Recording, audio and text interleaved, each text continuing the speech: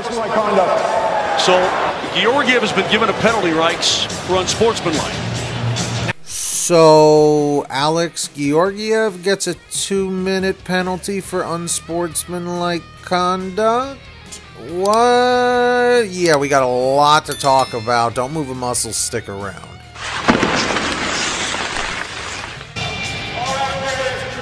Unsportsmanlike conduct. So Georgiev has been given a penalty, rights for unsportsmanlike.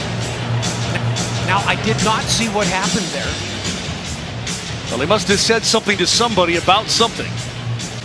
He didn't smash a stick or anything like that. I don't think I'm I'm completely out of the loop on how this penalty happened here, Moj. If you let me, if you see something, let me know.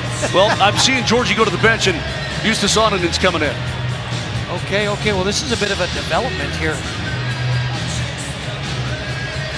I wonder if he got did he did he get 10 or did he just get a minor here, Rights? I don't know.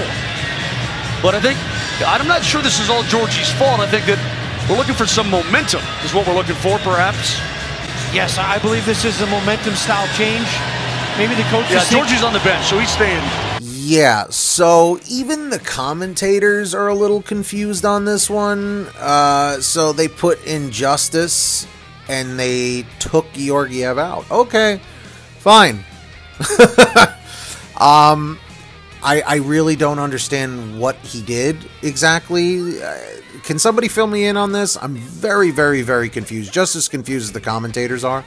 Um, and please let me know do you like the Colorado Avalanche or the Predators better? Let me know.